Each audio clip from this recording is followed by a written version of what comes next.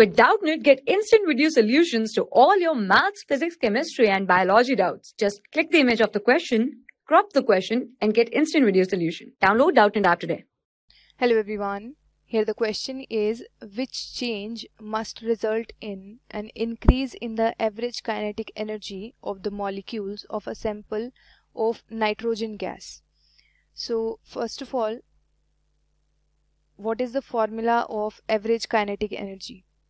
As average kinetic energy it is equals to 3 divided by 2 kt where k is the Boltzmann constant and t is temperature.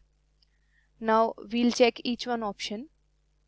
First is the pressure changes will increase an average will increase the average kinetic energy as we, we can see here that kinetic energy only can change by changing the temperature because K is Boltzmann constant which is the constant.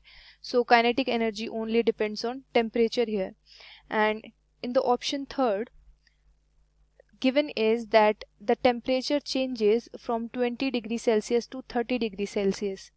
So as we can see that only temperature change can change kinetic energy. So this option is correct here that when temperature increases then there is increase in average kinetic energy. And in option 2 volume changes. So it doesn't affect average kinetic energy. And in option first pressure changes which also doesn't affect. And in option fourth density changes which also doesn't affect average kinetic energy.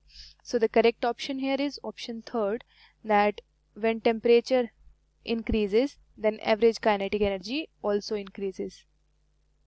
For class 6 to 12, IIT JEE and NEET level.